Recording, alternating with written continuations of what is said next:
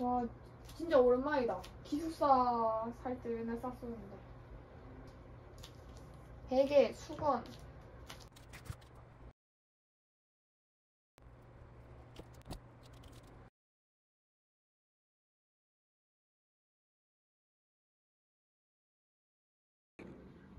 고시원